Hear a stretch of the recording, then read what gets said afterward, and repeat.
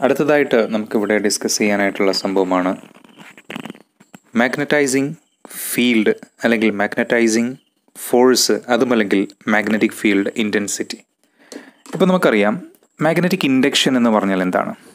Magnetic induction എന്ന് പറഞ്ഞു കഴിഞ്ഞാൽ ഒരു വസ്തുവിനെ നമുക്ക് അട്രാക്റ്റ് ചെയ്യണം. ഒരു മാഗ്നറ്റ് നമ്മളൊരു സ്ഥലത്ത് വെച്ചു.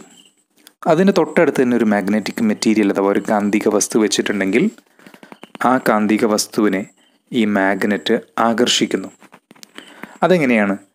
നമുക്കറിയാം ഒരു മാഗ്നറ്റിന്റെ ഉള്ളിൽ നോർത്ത് സൗത്ത് പോൾ ഉണ്ട്. ഇപ്പോൾ എക്സാമ്പിളായിട്ട് ഒരു മാഗ്നറ്റ് നമ്മൾ നോക്കുക. അപ്പോൾ ഇങ്ങനെ ഒരു മാഗ്നറ്റ് ഉണ്ടെങ്കിൽ ഇവിടെ നോർത്തും ഇവിടെ സൗത്തും ഉണ്ടാവും. അപ്പോൾ ഈ സൗത്തിനടുത്ത് ആണ് നമ്മളൊരു മെറ്റീരിയൽ വെച്ചത് എന്ന് വിചാരിക്കുക. അപ്പോൾ ഈ സൗത്തിനടുത്ത് ഇതിന്റെ ഈ ഫേസ് ഇരിക്കുന്ന ഭാഗത്തൊരു നോർത്ത് പോളും അപ്പുറത്തെ ഭാഗത്തൊരു സൗത്ത് പോളും ഉണ്ടാവും. അപ്പോൾ എന്താ സംഭവിക്കുക? ഈ സൗത്ത് പോളിലേക്ക് ഇത് ആകർഷ ആകർഷിക്കപ്പെടും. ഇതന്നെയാണ് നമ്മൾ മാഗ്നറ്റിക് ഇൻഡക്ഷൻ എന്ന് പറയാം. അപ്പോൾ മാഗ്നറ്റിക് ഇൻഡക്ഷൻ വഴി ആകർഷണം ഉണ്ടാവും. അപ്പോൾ എന്താ മാഗ്നറ്റിക് ഇൻഡക്ഷൻ എന്ന് പറഞ്ഞു കഴിഞ്ഞാൽ മാഗ്നറ്റിക് ഇൻഡക്ഷൻ എന്ന് പറഞ്ഞു കഴിഞ്ഞാൽ ഒരു മാഗ്നറ്റ് അതിന്റെ തൊട്ടടുത്തൊരു മാഗ്നറ്റിക് മെറ്റീരിയൽ മാഗ്നറ്റിക് മെറ്റീരിയൽ വെച്ചതിന്റെ ഫലമായിട്ട് ആ മാഗ്നറ്റിക് മെറ്റീരിയലിൽ പോൾസ് ഇൻഡ്യൂസ് ചെയ്യപ്പെടുന്നു. ഏത് വിധേനയാണ് ഇൻഡ്യൂസ് ചെയ്യാം ഇപ്പം മാഗ്നറ്റിന്റെ സൗത്ത് പോളിന്റെ അടുത്താണ് വെച്ചതെന്നുണ്ടെങ്കിൽ ആ മാഗ്നറ്റിന്റെ സൗത്ത് പോളുമായിട്ട് ചേർന്നിരിക്കുന്ന ഭാഗത്ത് നോർത്ത് പോൾ ഇൻഡ്യൂസ് ചെയ്യും. അതിന്റെ ഫലമായിട്ട് ഓപ്പോസിറ്റ് പോൾസ് ആയതുകൊണ്ട് ആകർഷിക്കപ്പെടും. ഓക്കെ ഇതിനെയാണ് മാഗ്നറ്റിക് ഇൻഡക്ഷൻ അത് സാന്ദർഭികമായിട്ട് നമ്മൾ പറഞ്ഞു എന്ന് മാത്രം. ഏതായാലും നമ്മളൊരു എന്താണ് ഇവിടെ ഉദ്ദേശിക്കുന്നത്? മാഗ്നറ്റൈസിങ് ഫോഴ്സ് എന്താണ്? മാഗ്നറ്റൈസിങ് ഫീൽഡ് അല്ലെങ്കിൽ മാഗ്നറ്റിക് ഫീൽഡ് ഇന്റൻസിറ്റി എന്താണ് എന്നുള്ളതാണ് ചോദ്യം. എച്ച് എന്നുള്ള അക്ഷരം കൊണ്ടാണ് സൂചിപ്പിക്കുന്നത്. അപ്പോൾ അതെന്താണെന്നുള്ളതാണ് നമുക്കിവിടെ പറയാനായിട്ടുള്ളത്. മാഗ്നറ്റൈസിങ് ഫോഴ്സ് മാഗ്നറ്റൈസിങ് ഫോഴ്സ് എന്ന് പറഞ്ഞു കഴിഞ്ഞാൽ നമ്മളൊരു മാഗ്നറ്റിക് ഫീൽഡ് നമ്മൾ നമ്മൾ പറയുന്നൊരു മാഗ്നറ്റിക് ഫീൽഡ് ആ മാഗ്നറ്റിക് ഫീൽഡിന്റെ ഇന്റൻസിറ്റിനെയാണ് നമ്മൾ മാഗ്നറ്റിക് ഫീൽഡ് ഇന്റൻസിറ്റി അല്ലെങ്കിൽ മാഗ്നറ്റൈസിങ് ഫോഴ്സ് എന്ന് പറയാം. ഇപ്പോൾ ഈ മാഗ്നറ്റ് മാഗ്നറ്റിക് ഫീൽഡ് ഉണ്ടാകാൻ കാരണം ഒരു മാഗ്നറ്റ് കൊണ്ട് ആയിരിക്കുമല്ലോ ഈ ഒരു മാഗ്നറ്റിക് ഫീൽഡിൽ നമ്മൾ മറ്റൊരു പോളിനെ ഇപ്പോൾ ശരിക്കും നമുക്കറിയാം മോണോപോൾ എന്ന് പറയുന്ന സാധനം ഇല്ല ശരിക്കും? നോർത്ത് സൗത്ത് ഇങ്ങനെ രണ്ട് പോളായിട്ട് ഉണ്ടാവുള്ളൂ ഒരു മാഗ്നറ്റ് എന്ന് പറഞ്ഞാൽ രണ്ട് പോൾസ് ഉണ്ടാവും. പക്ഷെ നമ്മൾ വിചാരിക്കുക ഇവിടെ നോർത്ത് പോളിനെ കൊണ്ടുവച്ചു. സ്വാഭാവികമായിട്ട് എന്റെ അപ്പുറത്തെ സൗത്ത് പോൾ ഉണ്ടാകും നമ്മൾ മൈൻഡ് ചെയ്യുന്നില്ല. തൽക്കാലം നമ്മൾ വിചാരിക്കുക നോർത്ത് പോൾ മാത്രമേ ഉള്ളൂ എന്നുള്ളത്. അപ്പം ഇവിടെ നിലവിലുള്ള ഈ മാഗ്നറ്റിക് ഫീൽഡ് ലൈൻസ് ഈ മാഗ്നറ്റ് എന്ന് ഈ മാഗ്നറ്റിക് ഫീൽഡ് എന്ന് പറയുന്നത് ഏതോ ഒരു മാഗ്നറ്റ് നമ്മളിവിടെ വെച്ചതിന്റെ ഫലമായിട്ടാണ് ഉള്ളത്. അത് പോട്ടെ. അപ്പോൾ ഏതോ ഒരു മാഗ്നറ്റ് നോർത്തും സൗത്തുക്കുള്ള ഒരു മാഗ്നറ്റ് ഇവിടെ വെച്ചതിന്റെ ഫലമായിട്ടുള്ള മാഗ്നറ്റിക് ഫീൽഡിൽ നമ്മൾ മറ്റൊരു പോളിനെ കൊണ്ടുവരികയാണ് ചെയ്യുന്നത്. മറ്റൊരു പോൾ എന്ന് പറഞ്ഞു കഴിഞ്ഞാൽ നോർത്തും സൗത്തും മോണോപോളല്ല രണ്ട് പോളുകളായിട്ടാണ് നോർത്തും സൗത്തും ആയിട്ടാണ് പോൾസ് ഉണ്ടാവുക. പക്ഷെ നമ്മൾ എന്ത് ചെയ്യുന്നു? ഒരു മോണോപോൾ കൊണ്ടുവച്ചു എന്ന് വിചാരിക്കാം ഒരു നോർത്ത് പോൾ ഇവിടെ കൊണ്ടുവച്ചു എന്ന് വിചാരിക്കുക. ശരിക്കും അങ്ങനെയില്ല. നമ്മൾ അസ്യൂം ചെയ്യുക. അപ്പോൾ ഒരു നോർത്ത് സൗത്തൊക്കെ ഉള്ള ഒരു മാഗ്നറ്റ് ആ മാഗ്നറ്റിന്റെ മാഗ്നറ്റിക് ഫീൽഡിൽ നമ്മൾ ഒരു നോർത്ത് പോൾ കൊണ്ടുവച്ചു എന്ന് വിചാരിക്കുക. ആ നോർത്ത് പോളിന്റെ മേലെ ഇവിടെ ഒരു ഫോഴ്സ് അനുഭവപ്പെടും. അപ്പോൾ ഒരു മാഗ്നറ്റിക് ഫീൽഡിൽ നമ്മളൊരു നോർത്ത് പോൾ കൊണ്ടുവച്ച് കഴിഞ്ഞാൽ അതിന്റെ മേലെ എന്ത് അനുഭവപ്പെടുന്നുണ്ട്? ഒരു ഫോഴ്സ് അനുഭവപ്പെടുന്നുണ്ട്. ഈ ഫോഴ്സ് എത്രത്തോളം ഉണ്ടോ അതിനെയാണ് നമ്മൾ മാഗ്നറ്റിക് ഫീൽഡ് ഇന്റൻസിറ്റി അല്ലെങ്കിൽ മാഗ്നറ്റൈസിങ് ഫോഴ്സ് അല്ലെങ്കിൽ മാഗ്നറ്റൈസിങ് ഫീൽഡിന്റെ ശക്തി കാണാനായിട്ട് നമ്മൾ കണ്ടുപിടിക്കുന്ന മാർഗം. ആ നോർത്ത് പോളിന്റെ ശക്തി എന്ന് പറഞ്ഞാൽ ഒരു വെബർ യൂണിറ്റ് വെബറുള്ള ഓക്കെ ഒരു വെബറുള്ള ഒരു മാഗ്നറ്റിക് നോർത്ത് പോളിനെ കൊണ്ടുവയ്ക്കുക. ആ നോർത്ത് പോളിന്റെ മേലെ എത്ര ഫോഴ്സ് അനുഭവപ്പെടുന്നു? ആ ഫോഴ്സിനെയാണ് നമ്മൾ എന്താ പറയുക? മാഗ്നറ്റൈസിങ് ഫോഴ്സ് അല്ലെങ്കിൽ മാഗ്നറ്റൈസിങ് ഫീൽഡ് അല്ലെങ്കിൽ മാഗ്നറ്റിക് ഫീൽഡ് ഇന്റൻസിറ്റി അപ്പോൾ എച്ച് കാണാനായിട്ടുള്ള ഇക്വേഷൻ എന്ന് പറയുന്നത് നമുക്ക് M M F divided by length of the magnetic path ഇതാണ് ശരിക്കും എച്ച് കാണാനുള്ള equation M M F divided by length of magnetic path so H is equal to M M F divided by length ഈ M M F എന്ന് പറഞ്ഞാൽ കണ്ടുപിടിക്കാനുള്ള equation എന്ന് പറഞ്ഞാൽ number of turns into N എന്ന് പറഞ്ഞാൽ number of turns into current through the turns Divided by L so H is equal to N I by L ഈ equation നമ്മൾ പഠിച്ചു വെക്കണം H is equal to N I by L that is the magneti- magnetic field intensity or magnetizing force or the magnetizing field is equal to Ni. Ni is mmf. So mmf divided by length of the magnetic path. Magnetic path and length Ni by L. So H is equal to Ni by L or Ni is equal to HL. ഇങ്ങനെ equation എഴുതാം അപ്പോൾ നമ്മളിവിടെ പറഞ്ഞു ഈ magnetic field intensity കാണാനുള്ള equation എന്ന് പറഞ്ഞാൽ H is equal to N I by L ആണ് അപ്പോൾ നമുക്കിതിന്റെ യൂണിറ്റ് കണ്ടുപിടിക്കണമെങ്കിൽ എന്നിന്റെ യൂണിറ്റ് എന്ന് പറഞ്ഞാൽ എത്ര ടേൺസ് ഉണ്ടെന്ന് ടേൺസിന് ടി എന്ന് പറയാം. ഐ എന്ന് പറഞ്ഞാൽ കറണ്ടാണ് അപ്പോൾ ആംബിയർ ടേൺസ് ആണ് നമ്മുടെ ഈ എൻ ഐയുടെ അഥവാ എം എം എഫിന്റെ യൂണിറ്റ് ഡിവൈഡഡ് ബൈ എൽ എന്ന് പറഞ്ഞാൽ മീറ്റർ ആണ്. So ampere turn per metre ആണ് ഈ മാഗ്നറ്റൈസിങ് ഫോഴ്സ് അല്ലെങ്കിൽ മാഗ്നറ്റിക് ഫീൽഡ് ഇന്റൻസിറ്റിയുടെ യൂണിറ്റ് എന്ന് പറയുന്നത്. ഓക്കെ അപ്പോൾ ഇത് നമ്മൾ ഓർത്ത് വയ്ക്കാം ഇനി മാഗ്നറ്റിക് എം എം എഫ് എന്ന് പറഞ്ഞാൽ എന്താ? Magneto motive force magneto motive force എന്ന് പറഞ്ഞാൽ എന്താണ് എന്നുള്ളതാണ് ചോദ്യം. അപ്പോൾ മാഗ്നറ്റോ മോട്ടീവ് ഫോഴ്സ് എന്ന് പറഞ്ഞാൽ ഇവിടെ ഫ്ലെക്സ് ഉണ്ടാവാൻ കാരണക്കാരനായിട്ടുള്ള ഫോഴ്സ് ഇപ്പം നമുക്കറിയാം ഫ്ലെക്സ് എന്ന് പറയുന്നത് ഫ്ലെക്സിന്റെ അക്ഷരം ഫൈ ആണല്ലോ. നമ്മുടെ ഇലക്ട്രിക്കൽ കറണ്ട് എന്ന് പറയുന്നത് പോലെയുള്ള സംഭവമാണ് മാഗ്നറ്റിസത്തിൽ ഫ്ലെക്സ് നമ്മൾ മുമ്പ് ഒരിക്കലും ഒരു വീഡിയോയിൽ പറഞ്ഞിട്ടുണ്ട് ഇലക്ട്രിക്കൽ കറണ്ട് എന്ന് പറയുന്നത് പോലെ കറണ്ട് ഫ്ലോ ചെയ്യുമല്ലോ. അതുപോലെയുള്ള മാഗ്നറ്റിസിലെ സംഭവമാണ് ഫ്ലെക്സ് ഓക്കെ? അതേപോലെ ഇലക്ട്രിക്കൽ കറണ്ട് ഉണ്ടാവണമെങ്കിൽ ആര് വേണം? ഇ എം എഫ് വേണം. ഇതേപോലെ മാഗ്നറ്റിക്സിൽ ഫ്ലെക്സ് ഉണ്ടാവണമെങ്കിൽ ആര് വേണം? എം എം എഫ് വേണം. മാഗ്നറ്റോ മോട്ടീവ് ഫോഴ്സ് എന്ന് പറഞ്ഞാൽ ഈ മാഗ്നറ്റിക് ഫ്ലെക്സ് ഉണ്ടാക്കാൻ എടുക്കുന്ന ഒരു ഫോഴ്സ് മോട്ടീവ് കൊടുക്കുന്ന ഫോഴ്സാണ് മാഗ്നറ്റോ മോട്ടീവ് ഫോഴ്സ് മറ്റത് ഇ എം എഫ് എന്ന് പറഞ്ഞാൽ electro motive force electro motive force ഉണ്ടെങ്കിൽ കറണ്ട് ഉണ്ടാവുള്ളൂ എന്നുള്ളത് പോലെ മാഗ്നറ്റോ മോട്ടീവ് ഫോഴ്സ് ഉണ്ടെങ്കിൽ എന്തുണ്ടാവുള്ളൂ? ഫ്ലെക്സ് ഉണ്ടാവുള്ളൂ മാഗ്നറ്റോ ഫോർട്ടി മോട്ടീവ് ഫോഴ്സിന്റെ കാണാനുള്ള ഇക്വേഷൻ എന്താണ്? എൻ ഇന്റു ഐ ആണ്. Number of turns into current through it അതിന്റെ യൂണിറ്റ് എന്താണ്? യൂണിറ്റ് പറയുകയാണെങ്കിൽ കറണ്ടിന്റെ unit ampere N number of ടേൺസിന്റെ turns അല്ല A T so A T ആണ് എം എം എഫിന്റെ യൂണിറ്റ് എന്ന് പറയുന്നത്. ഓക്കെ ആണല്ലോ? ഇനി നമുക്ക് ഡിസ്കസ് ചെയ്യാനുള്ള സംഭവമാണ് എന്താണ് റിലക്റ്റൻസ് എന്ന് പറയുന്നത് എന്നുള്ളതാണ്. റിലക്റ്റൻസ് എന്ന് പറഞ്ഞാൽ അനലോഗസ് ടു റെസിസ്റ്റൻസ് നമ്മുടെ എസ് എന്നുള്ള അക്ഷരം കൊണ്ട് സൂചിപ്പിക്കുന്നു. നമ്മുടെ കറണ്ടിന് എതിർക്കുന്ന കറണ്ട് ഒരു സർക്യൂട്ടിൽ കൂടെ പോകുമ്പോൾ ആ കറണ്ടിന് നേരിടേണ്ടി വരുന്ന എതിർപ്പിനെയാണ് നമ്മൾ റെസിസ്റ്റൻസ് എന്ന് പറയാം. ഇതേപോലെ മാഗ്നറ്റിക് ഫ്ലെക്സ് ഒരു മാഗ്നറ്റിക് സർക്യൂട്ടിൽ കൂടെ പോകുമ്പോൾ അതിന് നേരിടേണ്ടി വരുന്ന എതിർപ്പ് അഥവാ മാഗ്നറ്റിക് ഫ്ലെക്സ് ശരിക്കും പോകുമ്പോൾ അതിന് നേരിടേണ്ടുന്ന എതിർപ്പിനെയാണ് നമ്മൾ എന്ത് പറയുന്നത്? റിലക്റ്റൻസ് എന്ന് പറയുന്നത്. റിലക്റ്റൻസ് കാണാനുള്ള ഇക്വേഷനെയാണ് L divided by mu zero mu R into A എന്ന് പറയുന്നത്. സോ റിലക്റ്റൻസ് കാണാനുള്ള ഇക്വേഷൻ നമ്മൾ ഓർത്തു വയ്ക്കുക reluctance is equal to L divide by mu zero mu R into A mu zero എന്ന് പറഞ്ഞാൽ നമുക്കറിയാം പെർമിബിലിറ്റി ഓഫ് ഫ്രീ സ്പേസ് അല്ലെങ്കിൽ എയർ അതുപോലെ തന്നെ മ്യൂ ആർ എന്ന് പറഞ്ഞാൽ നമുക്കറിയാം റിലേറ്റീവ് പെർമീബിലിറ്റി എ എന്ന് പറഞ്ഞാൽ ആ ഒരു പത്തിന്റെ ഏരിയ എൽ എന്ന് പറഞ്ഞാൽ ലെങ്ത്ത് ഓക്കെ ഇങ്ങനെയാണ് നമ്മൾ റിലക്റ്റൻസ് കണ്ടുപിടിക്കുന്നത്. അപ്പോൾ ഇത് ഇതിന്റെ യൂണിറ്റ് എന്ന് പറയുന്നത് ഇപ്പോൾ റിലക്റ്റൻസ് നമുക്കറിയാം. ഇ എം എഫ് റെസിസ്റ്റൻസ് കാണാനുള്ള ഇക്വേഷൻ എന്ന് പറയുന്നത് E M F divided by current ആണ്. ഇതേപോലെ റിലക്റ്റൻസ് കാണാനുള്ള ഇക്വേഷൻ എന്ന് പറയുന്നത് M M F divided by flux ആണ്. നമുക്കറിയാം എം എം എഫിന്റെ യൂണിറ്റ് എന്താണ്? എം എഫിന്റെ യൂണിറ്റ് ആംബിയർ ടേൺ. ഫ്ലെക്സിന്റെ യൂണിറ്റ് എന്താ? Weber. So ampere turn per weber എന്ന് പറയുന്നതാണ് നമ്മുടെ റിലക്റ്റൻസിന്റെ unit. So റിലക്റ്റൻസിന്റെ unit is ampere turn per weber അപ്പോൾ ഇങ്ങനെ ഓർത്ത് വെക്കുക. ഇക്വേഷൻ വെച്ച് നമുക്കിത് വഴി കണ്ടുപിടിക്കാൻ പറ്റും equation ചോദിക്കുകയാണെങ്കിലോ L divided by mu zero mu D A L length A area mu zero permeability of ഒന്നുകിൽ ഫ്രീ സ്പേസ് അഥവാ വാക്യൂം അല്ലെങ്കിൽ എയർ പിന്നെ മ്യൂ ആർ എന്ന് പറഞ്ഞാൽ റിലേറ്റീവ് പെർമിയബിലിറ്റി ഓക്കെ ഇക്വേഷൻ അതിന്റെ യൂണിറ്റ് പറഞ്ഞാൽ ആംബിയർ ടൺ പെർ വേപ്പർ ഇതാണ് reluctance എന്ന് പറയുന്നത്. അപ്പോൾ ഇത് റെസിസ്റ്റൻസിന് അലോഗസ് ആണെന്ന് പറഞ്ഞു. ഇതേപോലെ തന്നെ റിലക്റ്റിവിറ്റി എന്ന് പറയുന്ന സാധനം. റിലക്റ്റൻസ് പോലെയുള്ള സംഭവമാണ് റിലക്റ്റിവിറ്റി റെസിസ്റ്റൻസിൽ റെസിസ്റ്റിവിറ്റി എന്ന് പറയുന്നത് പോലെ റെസിസ്റ്റൻസിൽ റെസിസ്റ്റിവിറ്റി എന്ന് പറയുന്നത് പോലെ അഥവാ സ്പെസിഫിക് റെസിസ്റ്റൻസ് എന്ന് പറയുന്നത് പോലെയുള്ള സംഭവമാണ് റിലക്റ്റൻസിൽ റിലക്റ്റിവിറ്റി അഥവാ സ്പെസിഫിക് റിലക്റ്റൻസ് എന്ന് പറയുന്നത്. അതും കൂടെ ഓർത്ത് വയ്ക്കാം ഓക്കെ റിലക്റ്റൻസ് പോലെയുള്ള സംഭവം specific reluctance or reluctivity resist ഏതുപോലെ റെസിസ്റ്റൻസിന് റെസിസ്റ്റിവിറ്റി അഥവാ സ്പെസിഫിക് റെസിസ്റ്റൻസ് ഉള്ളതുപോലെ. ഓക്കെ അത് കൂടുതലായിട്ട് സ്ട്രെസ് കൊടുക്കേണ്ട ആവശ്യമില്ല. അതേപോലെ തന്നെ നമുക്കുള്ള മറ്റൊരു സംഭവമാണ് പെർമിയൻസ് എന്ന് പറയുന്നത്. എന്താണ് പെർമിയൻസ് എന്ന് പറഞ്ഞു കഴിഞ്ഞാൽ പെർമിയൻസ് എന്ന് നമ്മൾ പറഞ്ഞില്ലേ? പെർമിയബിലിറ്റി പെർമിയബിലിറ്റി എന്ന് പറഞ്ഞാൽ എന്താണ്? ഒരു മാഗ്നറ്റിക് സർക്യൂട്ടിന് ഒരു മെറ്റീരിയലിന് അതിന്റെ ഉള്ളിൽ കൂടെ മാഗ്നറ്റിക് ഫ്ലക്സിനെ കടത്തിവിടാനുള്ള കഴിവിനെയാണ് നമ്മളെന്ത് പറയുക പെർമിയ പെർമിയബിലിറ്റി എന്ന് പറയുക ആ പെർമിയൻസ് എന്ന് പറഞ്ഞാൽ എത്രത്തോളം എളുപ്പത്തിൽ പെർമിയൻസ് എന്ന് പറഞ്ഞു കഴിഞ്ഞാൽ ഏതുപോലെയാണ്? ഇപ്പോൾ നമ്മൾ പെർമിയൻസ് എന്ന് പറഞ്ഞാൽ പെർമിയബിലിറ്റി എന്നൊക്കെ പറയുന്നത് കണ്ടക്ടിവിറ്റി എന്ന് പറയുന്നതിനെ തിരിച്ചാണ് പെർമിയബിലിറ്റി എന്ന് പറയുന്നത്. ഇപ്പോൾ പെർമിയബിലിറ്റി എന്ന് പറഞ്ഞാൽ എന്തിന് ആണ്? വൺ ബൈ റിലക്റ്റിവിറ്റിയാണ് പെർമിയബിലിറ്റി എന്ന് പറഞ്ഞു കഴിഞ്ഞാൽ വൺ ബൈ റിലക്റ്റിവിറ്റിയാണ് ഓക്കെ അപ്പോൾ പെർമിയൻസ് എന്ന് പറഞ്ഞാൽ എന്താ? പെർമിയൻസ് എന്ന് പറഞ്ഞാൽ വൺ ബൈ റിലക്റ്റൻസ് എന്നാണ്. പെർമിയൻസ് എന്ന് പറഞ്ഞു കഴിഞ്ഞാൽ വൺ ബൈ റിലക്റ്റൻസ് ഏതുപോലെ? നമുക്കറിയാം കണ്ടക്റ്റൻസ് എന്ന് പറയുന്നത് കണ്ടക്റ്റൻസ് എന്ന് പറയുന്നത് വൺ ബൈ എന്താണ്? റെസിസ്റ്റൻസ് ആണ്. അതേപോലെ കണ്ടക്റ്റിവിറ്റി എന്ന് പറയുന്നത് എന്താണ്? വൺ ബൈ റെസിസ്റ്റിവിറ്റി ഇതുപോലെ. ഓക്കെ ആണോ?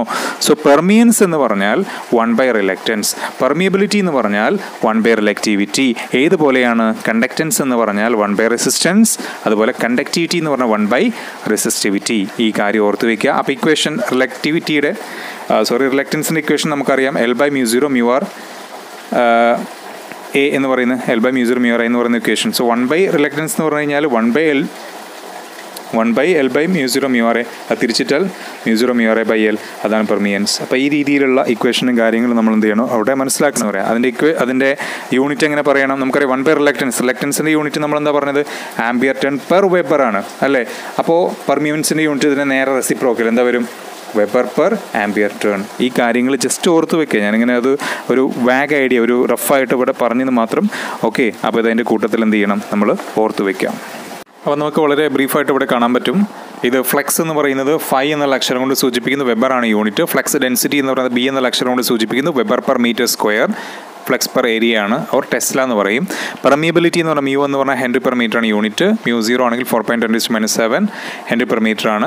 റിലേറ്റീവ് പെർമിയബിലിറ്റി മ്യൂ ആർ എന്ന് പറയുന്നത് mu by mu zero unit less ആണ് ക്വാണ്ടിറ്റി മ്യൂ എന്ന് പറഞ്ഞാൽ പെർമിയബിലിറ്റി ഓഫ് ദ മീഡിയം അല്ലെങ്കിൽ ആ ഒരു സംഭവം material sorry permeability of material divide by permeability of spray space magnetic for magnetising force അല്ലെങ്കിൽ magnetic field intensity or magnetising field എന്ന് പറയുന്നത് ഹെച്ച് എന്ന് പറയുന്നത് എൻ ഐ ബൈ എൽ ആണ് ഇക്വേഷൻ അഥവാ M M F by length of the magnetic പാത്താണ് അതെന്ന് പറയുന്നത് unit എന്ത് വരും? എം എം എഫിന്റെ ampere turns divide by length M reluctance എന്ന് പറഞ്ഞാൽ L by mu zero U R A അത് യൂണിറ്റ് പറയുമ്പോൾ നമുക്ക് എങ്ങനെ പറയാം? യൂണിറ്റ് എന്ന് പറയുന്നത് M M F divided by ഫ്ലെക്സിന്റെ യൂണിറ്റാണ് ampere turns divide by weber. അതുപോലെ പെർമിനൻസ് റിലക്ടൻസിന്റെ നേരെ റെസിപ്രോക്കലാണ് so mu mu R A by L തിരിച്ചിടുക. Unit weber per ampere turn ഇതേപോലെ റിലക്റ്റൻസിന് ഈക്വലന്റ് ആയിട്ട് ഇതുപോലെ സംഭവമാണ്. റിലക്റ്റിവിറ്റി എന്ന് പറയുന്ന പെർമിയൻസിന് നമ്മൾ പറയും. ഏതുപോലെ? പെർമിയബിലിറ്റി എന്ന് പറയുന്നത് പോലെ റിലക്റ്റൻസിന് റിലക്റ്റിവിറ്റി ഉണ്ട്. അതുപോലെ തന്നെ ഇത് അനലോഗസ് ടു റെസിസ്റ്റൻസ് ആണ് ഇൻ ഇലക്ട്രിക്കൽ സിസ്റ്റം ഇത് അനലോഗസ് ടു കണ്ടക്റ്റൻസ് ആണ്. റിലക്റ്റൻസ് എന്ന് പറഞ്ഞു കഴിഞ്ഞാൽ റെസിസ്റ്റൻസ് കണ്ടക്റ്റൻസ് എന്ന് പറഞ്ഞാൽ permeance conductance one by resistance പോലെ പെർമിയൻസ് എന്ന് പറഞ്ഞാൽ വൺ ബൈ റിലക്റ്റൻസ് ഇതൊക്കെ നമ്മൾ ഇവിടെ ഡിസ്കസ് ചെയ്യുന്നു. കാര്യങ്ങൾ ബ്രീഫായിട്ട് ഇവിടെ പറഞ്ഞിരിക്കുകയാണ്. ഓക്കെ ഇനി നമുക്ക് ഡിസ്കസ് ചെയ്യാനായിട്ടുള്ളത് ഹിസ്റ്ററിസിസിനെ പറ്റിയിട്ടാണ് മാഗ്നറ്റിക് ഹിസ്റ്ററിസിസ് ഹിസ്റ്ററിസിസ് എന്ന ഗ്രീക്ക് വേർഡിന്റെ മീനിങ് തന്നെ ലാഗിങ് ബിഹൈൻഡ് എന്നാണ്. അപ്പോൾ ഇവിടെ ആര് ആരെ ലാഗ് ചെയ്യുന്നു തുടങ്ങിയിട്ടുള്ള കാര്യങ്ങൾ നമുക്കിവിടെ കാണാം. ഒരു ഗ്രാഫ് ഇവിടെ വരച്ചിട്ടുണ്ട്. ഗ്രാഫിന്റെ ഹൊറിസോണ്ടൽ ആക്സസ് ഹൊറിസോണ്ടൽ എന്നുള്ളതിന്റെ ആദ്യത്തെ ലെറ്റർ ഹെച്ച് ആണ്. അപ്പോൾ നമ്മളിവിടെ ഹെച്ച് എഴുതുന്നു. അത് ഓർത്തിരിക്കാൻ വേണ്ടി മാത്രമാണ് ശരിക്കും എച്ച് എന്നുള്ളത് ഹൊറിസോണ്ടൽ എന്നുള്ളതിന്റെ ഹെച്ച് അല്ല ഇവിടെ ഉദ്ദേശിക്കുന്നത്. അപ്പോൾ ഹൊറിസോണ്ടൽ ആക്സസിൽ റൈറ്റ് സൈഡിൽ പ്ലസ് എച്ചും ലെഫ്റ്റ് സൈഡിൽ മൈനസ് എച്ചുമാണ് അതേപോലെ തന്നെ വെർട്ടിക്കൽ ആക്സിസിൽ നമ്മൾ ബി മാർക്ക് ചെയ്യുന്നു. മുകളിൽ പ്ലസ് ബിയും താഴെ മൈനസ് ബിയുമാണ് ഓക്കെ ഇവിടെ ഈ എച്ച് എന്ന് പറഞ്ഞാൽ അതിന്റെ അർത്ഥം മാഗ്നറ്റൈസിങ് ഫീൽഡ് മാഗ്നറ്റൈസിങ് ഫീൽഡ് അല്ലെങ്കിൽ മാഗ്നറ്റൈസിങ് ഫോഴ്സ് അതുമല്ലെങ്കിൽ മാഗ്നറ്റിക് ഫീൽഡ് ഇന്റൻസിറ്റി എന്നാണ്. അപ്പോൾ ഹെച്ച് എന്ന് പറഞ്ഞാൽ മാഗ്നറ്റൈസിങ് ഫീൽഡ് അല്ലെങ്കിൽ മാഗ്നറ്റൈസിങ് ഫോഴ്സ് അല്ലെങ്കിൽ മാഗ്നറ്റിക് ഫീൽഡ് ഇന്റൻസിറ്റി അഥവാ നമുക്ക് ഒരു മാഗ്നറ്റിക് ഫീൽഡ് ഉണ്ടാക്കാൻ ആവശ്യമായിട്ടുള്ള സംഭവങ്ങൾ കൊടുക്കുന്നതിനെയാണ് മാഗ്നറ്റൈസിങ് ഫോഴ്സ് എന്ന് പറയുന്നത്.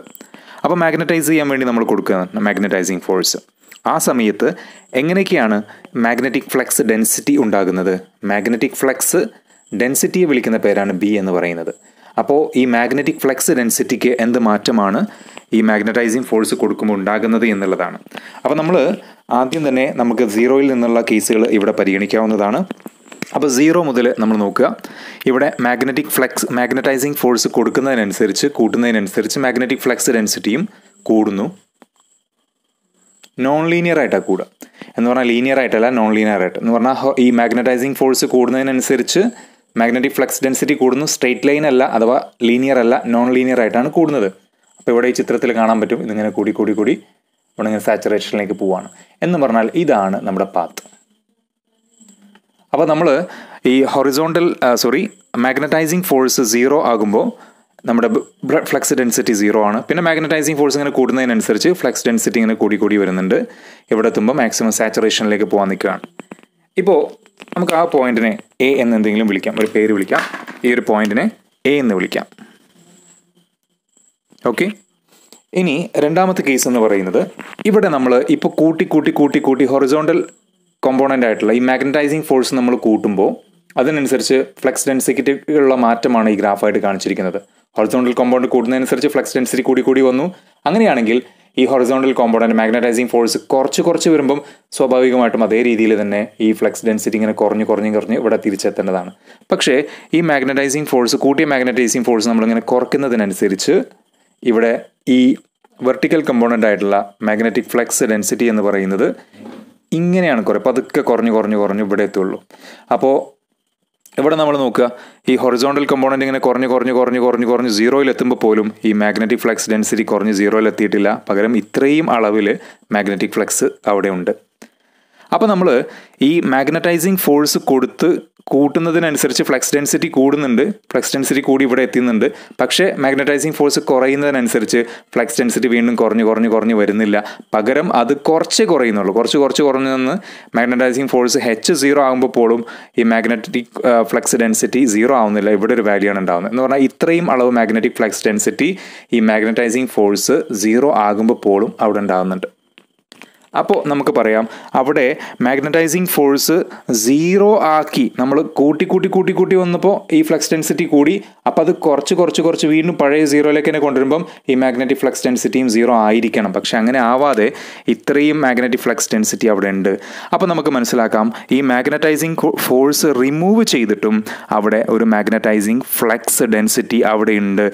അതിനെയാണ് നമ്മൾ അവിടെ ബാക്കിയാകുന്ന ഇങ്ങനെ അവശേഷിക്കുന്ന മാഗ്നറ്റിക് ഫ്ലക്സ് ഡെൻസിറ്റിനെ പറയുന്ന പേരാണ് റെസിഡുവൽ മാഗ്നറ്റിസം അല്ലെങ്കിൽ റെസിഡുവൽ ഫ്ലക്സ് എന്ന് പറയുന്നത്.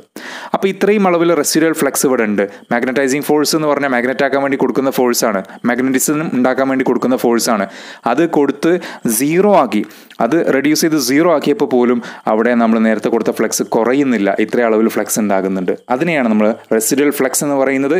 ഇങ്ങനെ റെസിഡുവൽ ഫ്ലക്സിനെ നിലനിർത്താനുള്ള ഒരു മെറ്റീരിയലിന്റെ കഴിവിനെയാണ് റീടെന്റിവിറ്റി എന്ന് പറയുന്നത്. So retentivity is the ability of a material to retain its residual flux even after the removal of magnetizing force. Magnetising force നമ്മൾ റിമൂവ് ചെയ്തു. അതിനെ സീറോ ആയിട്ട് റെഡ്യൂസ് ചെയ്തു. അപ്പോൾ പോലും ഇത് എന്ത് ചെയ്യുന്നുണ്ട്? ഇവിടെ ഒരു ഫ്ലക്സ് അവിടെ റീറ്റെയിൻ ചെയ്യുന്നുണ്ട്. അതിനാണ് റിറ്റന്റിവിറ്റി എന്ന് പറയാം. ഓക്കെ ഇനി നമുക്ക് എന്ത് ചെയ്യണം? ഈ ഒരു ഈ ഒരു അളവിലുള്ള ഫ്ലെക്സിനെ നമുക്ക് റെഡ്യൂസ് ചെയ്യണം. എന്ന് പറഞ്ഞാൽ ഇങ്ങനെ കുറച്ച് കുറച്ച് കുറച്ച് കുറച്ച് സീറോയിലേക്ക് എത്തിക്കണം. കുറച്ച് കുറച്ച് സീറോയിലേക്ക് എത്തിക്കണം എന്നുണ്ടെങ്കിൽ നമ്മൾ വീണ്ടും ഈ ഒരു ഡയറക്ഷനിൽ എന്ത് ചെയ്യണം? ഇവിടെ ഒരു ഫോഴ്സ് കൊടുക്കണം. മാഗ്നറ്റൈസിങ് ഫോഴ്സ് കൊടുക്കണം. അപ്പോൾ ഈ സി ഈ സീറോ അല്ലാത്ത ഈ മാഗ്നറ്റിക് ഫ്ലക്സ് ഇത്രയും റെസിഡൽ ഫ്ലക്സ് ഉണ്ട്. ഇത്രയുള്ള റെസിഡൽ ഫ്ലക്സിനെ നമുക്ക് എന്ത് ചെയ്യണം? സീറോയിലേക്ക് എത്തിക്കണം. അപ്പോൾ നമ്മൾ എന്ത് ചെയ്യണം? ഇവിടെ ഒരു ഓപ്പോസിറ്റ് ഡയറക്ഷനിൽ ഒരു മാഗ്നറ്റിക് മാഗ്നറ്റൈസിങ് ഫോഴ്സ് കൊടുക്കുക. എന്ന് പറഞ്ഞാൽ ഇങ്ങോട്ട് നമ്മൾ കൊടുത്ത പോസിറ്റീവ് ഡയറക്ഷനിൽ ഇൻക്രീസ് ചെയ്തായിരുന്നു. അതിനെ കുറച്ച് സീറോയിലേക്ക് എത്തിച്ചു. ഇനി വീണ്ടും സീറോയുടെ അപ്പുറത്തേക്ക് നമ്മൾ ഇൻക്രീസ് ചെയ്യാണ്. നെഗറ്റീവ് ഡയറക്ഷനിൽ ഇൻക്രീസ് ചെയ്യാണ്. അപ്പോൾ എന്ത് സംഭവിക്കും? മാഗ്നറ്റൈസിങ് ഫോഴ്സ് നെഗറ്റീവ് ഡയറക്ഷനിൽ കൊടുക്കുമ്പോൾ ഇവിടെ ഉണ്ടായിരുന്ന മാഗ്നറ്റിക് ഫ്ലക്സ് റെസിഡൽ മാഗ്നറ്റിസം എന്ത് ചെയ്യുമ്പോൾ കുറഞ്ഞ് കുറഞ്ഞ് കുറഞ്ഞ് കുറഞ്ഞ് സീറോയിലെത്തി അപ്പോൾ ഇത്രയും അളവ് മാഗ്നറ്റൈസിങ് ഫോഴ്സ് നെഗറ്റീവ് ഡയറക്ഷനിൽ ഓപ്പോസിറ്റ് ഡയറക്ഷനിൽ ഇൻക്രീസ് ചെയ്തപ്പം മാത്രമാണ് ഇവിടെയുള്ള റെസിഡുവൽ മാഗ്നറ്റിസം ഒക്കെ ഇല്ലാതായിക്കൊണ്ട് ഈ മാഗ്നറ്റിക് ഫ്ലക്സ് ഡെൻസിറ്റി സീറോയിലെത്തിയത് അപ്പോൾ ഇങ്ങനെ ഈ magnetic flux density residual flux അവിടെ ഉണ്ടായിരുന്ന റെസിഡുവൽ ഫ്ലക്സിനെ ഇല്ലാതാക്കാൻ വേണ്ടി നമ്മൾ കൊടുക്കുന്ന ഈ ഒരു ഹൊറിസോണ്ടൽ കോമ്പോണന്റ് അഥവാ മാഗ്നറ്റൈസിങ് ഫോഴ്സ് നമ്മൾ പറയുന്ന പേരാണ് കൊയേഴ്സി ഫോഴ്സ് എന്ന് പറയുന്നത്. കൊയേഴ്സി ഫോഴ്സ് അല്ലെങ്കിൽ കൊയേഴ്സിവിറ്റി എന്ന് പറയും. അപ്പോൾ കൊയേഴ്സിവിറ്റി എന്ന് പറഞ്ഞാൽ ഇവിടെ റീറ്റെയിൻ ചെയ്തിട്ടുള്ള റിട്ടന്റിവിറ്റി ആയിട്ടുള്ള റെസിഡൽ ഫ്ലക്സിനെ കുറച്ച് സീറോയിൽ എത്തിക്കാൻ നമ്മളൊരു നെഗറ്റീവ് ഡയറക്ഷനിൽ ഓപ്പോസിറ്റ് ഡയറക്ഷനിൽ ഒരു മാഗ്നറ്റൈസിങ് ഫോഴ്സ് കൊടുക്കുന്നത് അതിനെയാണ് നമ്മൾ റിട്ടന്റിവിറ്റി എന്ന് പറയുക ഇനി ഈ ഒരു പരിപാടി എന്ത് ചെയ്യുന്നു? വീണ്ടും റിപ്പീറ്റ് ചെയ്യുന്നു. എന്ന് പറഞ്ഞു കഴിഞ്ഞാൽ ഇവിടെ നമുക്കറിയാം. ഇനി വീണ്ടും എന്ത് ചെയ്യുന്നു? ഇവിടെ ഇനിയും ഈ ഫ്ലക്സ് ഡെൻസിറ്റി ഈ മാഗ്നറ്റൈസിങ് ഫോഴ്സ് കൂട്ടുന്നതിനനുസരിച്ച് ഇതേപോലെ എന്ത് ചെയ്യുന്നു? ഫ്ലക്സ് ഡെൻസിറ്റി ഇങ്ങനെ കൂടും. കൂടി കൂടി കൂടി കൂടി. ഇവിടെ മാക്സിമത്തിലെത്തും പിന്നെ എന്ത് ചെയ്യുന്നു? പിന്നെ നമ്മൾ ഈ മാഗ്നറ്റൈസിങ് ഫോഴ്സ് കുറക്കാന്ന് വിചാരിച്ചു? മാഗ്നറ്റൈസിങ് ഫോഴ്സ് കുറക്കുമ്പോൾ ഇതേ പാത്തിൽ കൂടെ അല്ല വരിക. തിരിച്ച് മറ്റൊരു പാത്തിൽ കൂടെ ഇങ്ങനെ വരിക. എന്തുകൊണ്ടാണ് അങ്ങനെ വരാനുള്ള കാരണം? കാരണം നമുക്കറിയാം ഇവിടെ സംഭവിച്ച അതേപോലെ തന്നെയാണ്. ഇത് കുറഞ്ഞ് ഇത് ഇത് മാഗ്നറ്റൈസിങ് കൂട്ടുന്നതിനനുസരിച്ച് ഈ മാഗ്നറ്റിക് ഫ്ലക്സ് ഡെൻസിറ്റി നെഗറ്റീവ് മാക്സിമത്തിലെത്തി പക്ഷേ നമ്മൾ വീണ്ടും മാഗ്നറ്റൈസിങ് ഫോഴ്സ് കുറച്ചു. അപ്പോൾ ഇത് എന്താവുന്നില്ല ഇത് കുറഞ്ഞ് സീറോയിലേക്ക് എത്തുന്നില്ല. പകരം അത് ഇത്രയും വാല്യൂ അവിടെ ഉണ്ടാകുന്നുണ്ട്. ഓക്കെ അപ്പോൾ ഇത്രയും റിട്ടന്റിവിറ്റി റെസിഡുവൽ ഫ്ലക്സ് ഉണ്ടാകുന്നുണ്ട്. വീണ്ടും ഈ റെസിഡുവൽ ഫ്ലക്സിനെ സീറോയിലേക്ക് എത്തിക്കാൻ ഇങ്ങോട്ട് എത്തിക്കാൻ വേണ്ടിയിട്ട് നമ്മൾ എന്ത് ചെയ്യണം? ഇങ്ങോട്ടൊരു കൊയോസി ഫോഴ്സ് കൊടുക്കണം. ഓക്കെ അപ്പോൾ അങ്ങനെ വീണ്ടും സീറോയിൽ എത്തിച്ചു. പിന്നെ വീണ്ടും ഇൻക്രീസ് ചെയ്യുക. എന്ന് പറഞ്ഞാൽ ഈ സൈക്കിൾ ഇങ്ങനെ റിപ്പീറ്റ് ചെയ്യും. ഓക്കെ അപ്പോൾ മൊത്തത്തിൽ എടുത്തു നോക്കുമ്പോൾ ഇങ്ങനെ ഒരു സൈക്കിൾ കിട്ടും. അപ്പോൾ ഹിസ്റ്ററിസിസ് എന്ന് പറയുന്നത് ലാഗിങ് ഓഫ് ബി ഈ ബി എന്ന് പറയുന്നത് നമ്മൾ ഹെച്ചിനെ കൂട്ടുമ്പോൾ ബി കൂടുന്നു. പക്ഷേ ഹെച്ചിനെ കുറയ്ക്കുമ്പോൾ ബി അതുപോലെ കുറയുന്നില്ല. അതിനേക്കാൾ സ്ലോ ആയിട്ട് ലാഗ് ചെയ്തിട്ടാണ് കുറയുന്നത്. അത് തന്നെ എച്ച് സീറോ ആയിട്ട് കുറക്കുന്ന സമയത്ത് ബി സീറോ ആവുന്നതിൽ എത്രയും ഉണ്ട്. അപ്പോൾ അങ്ങനെ ബിക്ക് ചെറിയ ലാഗിങ് വരുന്നുണ്ട്. This lagging of B lagging of B behind H ഹെച്ചിന് പിന്നാലെയുള്ള ബിയുടെ ലാഗിങ്ങിനെയാണ് നമ്മൾ എന്ത് പറയുന്നത്? ഹിസ്റ്ററിസിസ് എന്ന് പറയുന്നത്. ഓക്കെ? അപ്പോൾ ഈ ഒരു കാര്യം ഓർക്കുക. ഹിസ്റ്ററിസിസ് ലൂപ്പ് എന്ന് പറയുന്നത് ഈ ലൂപ്പ് പല മെറ്റീരിയലിനും പല വലുപ്പത്തിലാണ്. ഇപ്പോൾ നമ്മൾ ഈ ഹിസ്റ്ററിസിസ് ലൂപ്പ് എന്ന് പറയുന്നത് ഇത് സൂചിപ്പിക്കുന്നത് ഹിസ്റ്ററിസിസ് ലോസിനെയാണ്. നല്ല വലുപ്പത്തിലുള്ള അപ്പോൾ നമ്മളിങ്ങനെ വരക്കുമ്പോൾ പല സൈസിലുള്ള അപ്പോൾ വണ്ണം കുറഞ്ഞതുണ്ടാവാറുണ്ട് ഇങ്ങനെ. കുറഞ്ഞ സൈസിൽ ഉണ്ടാവാറുണ്ട് അതേപോലെ ചിലതാണെങ്കിൽ വലിയ സൈസിൽ ഉണ്ടാവാറുണ്ട് അപ്പോൾ ഇത് ഈ ഏരിയ ഈ ഹിസ്റ്ററിസിസ് ലൂപ്പിന്റെ ഈ ഏരിയ സൂചിപ്പിക്കുന്നത് എന്തിനാന്ന് വെച്ച് കഴിഞ്ഞാൽ നമ്മുടെ ഈ ഏരിയ സൂചിപ്പിക്കുന്നത് എന്തിനാന്ന് വെച്ച് കഴിഞ്ഞാൽ അത് ഹിസ്റ്ററിസിസ് ലോസിനെ സൂചിപ്പിക്കുന്നു. ഈ ഏരിയ എന്തിനെ സൂചിപ്പിക്കുന്നത്? ഹിസ്റ്ററിസിസ് ലോസ് ഓക്കെ അപ്പോൾ ഏരിയ വലുതായി എന്ന് പറഞ്ഞാൽ ഹിസ്റ്ററിസിസ് ലോസ് എന്താണ്? വലുതാണ്. അപ്പോൾ ഇതിൽ ഏതിനാ ഹിസ്റ്ററിസിസ് ലോസ് വലുത്? ഈ രണ്ടെണ്ണത്തിൽ ഇതിനാണ്. ഓക്കെ മാത്രമല്ല ഇത് വലുതായി എന്ന് പറഞ്ഞാൽ അതിന്റെ അർത്ഥം എന്താ? ഇവിടെയുള്ള ഈ റിട്ടൻഡിവിറ്റി റിട്ടൻഡിവിറ്റി ഏതിനാ കൂടുതൽ റിട്ടൻഡിവിറ്റി കൂടുതൽ ഈ ഏരിയ വലുതിനാന്ന് പറയാം. അപ്പോൾ വലിയ ഏരിയ ഉള്ള സംഭവത്തിന് ഹിസ്റ്ററിസിസ് ലോസ് കൂടുതലാണ് റിട്ടന്റിവിറ്റി കൂടുതലാണ് കൊയേഴ്സിവിറ്റി കൂടുതലാണ്. അപ്പോൾ റിട്ടന്റിവിറ്റി കൊയേഴ്സിവിറ്റി അതുപോലെ ഹിസ്റ്ററിസിസ് ലോസ് എല്ലാം കൂടുതലാണ് വലിയ ഈ ഹിസ്റ്ററിസിസ് ഫിഗർ വലിയ ഹിസ്റ്ററിസിസ് ഏരിയ ഉള്ള കർവ് എന്ന് പറയുന്നത്. ഓക്കെ അപ്പോൾ നമുക്ക് ഇത് വെച്ചുകൊണ്ട് എന്ത് ചെയ്യാം? ക്വസ്റ്റ്യൻസ് ഫ്രെയിം ചെയ്യാം. ഇപ്പോൾ കുറഞ്ഞ ഏരിയ ആണെങ്കിൽ നമുക്ക് പറയാം ഈ കുറഞ്ഞ ഏരിയ ഉള്ള മെറ്റീരിയൽസിനെ നമ്മൾ പറയും സോഫ്റ്റ് മാഗ്നറ്റിക് മെറ്റീരിയൽ എന്ന് പറയാറുണ്ട്. സോഫ്റ്റ് മാഗ്നറ്റിക് മെറ്റീരിയൽ നമ്മൾ യൂസ് ചെയ്യുന്നത് സാധാരണ ഈ ടെമ്പററി മാഗ്നറ്റ് ഇലക്ട്രോ മാഗ്നറ്റിക് ആയിട്ടാണ് സോഫ്റ്റ് മാഗ്നറ്റിക് മെറ്റീരിയൽ യൂസ് ചെയ്യുന്നത്. ഓക്കെ അതേസമയം തന്നെ വലിയ ഹിസ്റ്ററിസിസ് ലൂപ്പുകൾ നമ്മൾ യൂസ് ചെയ്യുന്നത് പെർമനന്റ് മാഗ്നറ്റ് ഒക്കെ ഉണ്ടാക്കാൻ വേണ്ടിയിട്ടാണ്. പെർമനന്റ് മാഗ്നറ്റ് ഉണ്ടാക്കാൻ വേണ്ടിയിട്ട് നമ്മൾ യൂസ് ചെയ്യുന്നത് വലിയ ഈ hysteresis curve area of hysteresis curve ഉള്ളതാണ് നമ്മൾ എന്തിനു യൂസ് ചെയ്യുന്നത്? പെർമനന്റ് മാഗ്നറ്റ് ഒക്കെ ഉണ്ടാക്കാൻ. അൽനിക്കോ അൽക്കോമാക്സ് ടിക്കോണാൾ തുടങ്ങിയിട്ടുള്ള മെറ്റീരിയൽ ഉപയോഗിച്ചുകൊണ്ടുള്ള പെർമനന്റ് മാഗ്നറ്റ് ഒക്കെ യൂസ് ചെയ്യാൻ ഉണ്ടാക്കാനാണ് നമ്മൾ എന്ത് ചെയ്യുന്നത്? വലിയ നല്ല ഏരിയ കൂടുതലുള്ള ഹിസ്റ്ററിസിസ് ലൂപ്പിന് ഏരിയ കൂടുതലുള്ള മെറ്റീരിയൽസ് യൂസ് ചെയ്യുന്നത്. കുറഞ്ഞതാണെങ്കിൽ ഈ സ്റ്റെലോയ് അതുപോലെ മിമെറ്റൽ സോഫ്റ്റ് അയൺ അതൊക്കെയാണ് ഈ കുറഞ്ഞ ഹിസ് ഹിസ്റ്ററിസിസ് ഉള്ള ലൂപ്പുകൾക്ക് എക്സാമ്പിൾ അങ്ങനെയുള്ള മെറ്റീരിയൽസിന് എക്സാമ്പിൾ അത് ഉപയോഗിച്ചിട്ട് നമ്മൾ എന്ത് ചെയ്യുന്നു? ഇലക്ട്രോ മാഗ്നറ്റ് ഒക്കെയാണ് ഉണ്ടാക്കുന്നത്. ഇതാണ് ഇവിടുന്ന് ചോദിക്കാൻ സാധ്യതയുള്ള ക്വസ്റ്റ്യൻ അപ്പോൾ എന്താണ് ഹിസ്റ്ററിസിസ്? അതേപോലെ തന്നെ ഹിസ്റ്ററിസിന്റെ എക്സ് ആക്സസിൽ എച്ച് ആണ് വൈ ആക്സസിൽ ബി ആണ് ഇതെങ്ങനെയാണ് വരുന്നത് എന്ന് പറഞ്ഞു. നമ്മൾ അതേപോലെ തന്നെ നമ്മളിവിടെ പറഞ്ഞ കാര്യം റിട്ടന്റിവിറ്റി റെസിഡുവൽ ഫ്ലെക്സ് എന്താണെന്ന് പറഞ്ഞു. ഇവിടെ കൊയേഴ്സിവിറ്റി കൊയേഴ്സി ഫോഴ്സ് എന്താണെന്ന് പറഞ്ഞു. ഈ കാര്യങ്ങളൊക്കെയാണ് നമ്മൾ ഡിസ്കസ് ചെയ്തത്. അതുപോലെ ഇതിന്റെ ഏരിയ കൂടുതലാണെങ്കിൽ അതിന്റെ അർത്ഥം ഹിസ്റ്ററിസിസ് ലോസ് കൂടുതലാണ് റിട്ടന്റിവിറ്റിയും കൊയസിവിറ്റിയും കൂടുതലാണെന്നാണ്. അങ്ങനെയുള്ള മെറ്റീരിയൽസിനെ നമ്മൾ വിളിക്കുന്ന പേരാണ് hard magnetic material soft magnetic material എന്ന് പറഞ്ഞാൽ ഏരിയ കുറഞ്ഞ കൊയസിറ്റിയും റിട്ടന്റിവിറ്റി ഒക്കെ കുറഞ്ഞ മെറ്റീരിയൽസ് ആണ്. അതിന് എക്സാമ്പിളാണ് ഏരിയ കുറഞ്ഞത് ഉണ്ടാക്കുന്നത് പറഞ്ഞാൽ ഇലക്ട്രോ മാഗ്നറ്റ് ഒക്കെ ഉണ്ടാക്കാൻ വേണ്ടി ടെമ്പററി മാഗ്നറ്റ് ഉണ്ടാക്കാൻ വേണ്ടിയിട്ടാണ് സോഫ്റ്റ് മാഗ്നറ്റിക് മെറ്റീരിയൽസ് അഥവാ ഏരിയ കുറഞ്ഞ മാഗ്നറ്റിക് മെറ്റീരിയൽസ് യൂസ് ചെയ്യുന്നത്. അതിന് എക്സാമ്പിളാണ് സ്റ്റെലോയി മെറ്റൽ അതുപോലെ സോഫ്റ്റ് അയണൊക്കെ ഈ ഹാർഡ് മാഗ്നറ്റിക് മെറ്റീരിയൽസിന് എക്സാമ്പിളാണ് നമ്മുടെ അൽനിക്കോ അൽക്കോമാക്സ് അതുപോലെ ടിക്കോണാൾ എന്നൊക്കെ പറയുന്നത്. അത് നമ്മൾ പെർമനന്റ് മാഗ്നറ്റ് ഉണ്ടാക്കാൻ വേണ്ടിയിട്ട് യൂസ് ചെയ്യുന്നു. അപ്പോൾ ഇത്തരത്തിലുള്ള ചോദ്യങ്ങൾ ഉണ്ടാവാം. ഓക്കെ